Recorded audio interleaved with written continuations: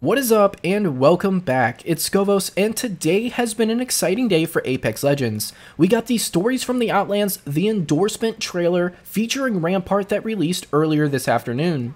Following the release of this trailer, a new limited time game mode also went live. It's familiar to some of us and it's always closing. Right off the bat, from the beginning of the match, it shows us where the last and only circle will be. Throughout the game, the circle will slowly close, forcing teams towards that area. Now this is going to be a very fast-paced, intense game mode. So if you haven't had a chance to play this game mode in the past, I definitely recommend loading up Apex Legends and at least giving this a shot. But by far, the coolest thing about this limited time game mode is going to be the introduction of the Graffiti mod, a hop up for the Spitfire light machine gun. It increases magazine capacity, faster reloads, and the best part is you now shoot paint loaded rounds. So there's actually a very easy way to guarantee yourself this new hop up, the Spitfire, and some heavy ammo at the beginning of every single match. So the very first thing that you'll want to do before even jumping out of the ship, the moment the game loads in, open up your map. You'll notice right away that there are already care package indicators,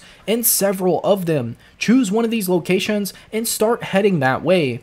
Now, all of these care packages will land within the first minute or so of the match, so make sure to get there quickly and be the first one to the drop site. And it's really that easy. So inside of each one of these care packages are guaranteed graffiti mods, spitfires, and plenty of heavy ammo. So that's to wrap up today's video, but wait, before you click away, clicking that subscribe button really does help me out and support my channel quite a bit. If you like this video in particular, click the thumbs up. If you didn't like it, you're also more than welcome to click the thumbs down. But whether you did click or didn't click anything I mentioned, I still hope you have a good evening, afternoon, morning, night, or whatever it is wherever you are but thank you for stopping by, and I hope to see you in one of my next videos.